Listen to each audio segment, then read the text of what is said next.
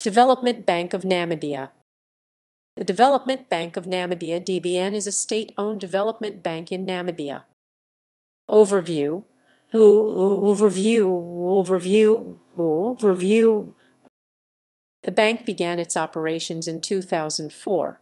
The main objective of DBN is to promote and finance development in those sectors of the economy which support development and the welfare of the citizens of the country. As of December 2011, the total asset valuation of the bank was in excess of US $146 million NAD 1.602 billion, with shareholders' equity of approximately US $144.03 million NAD 1.583 billion.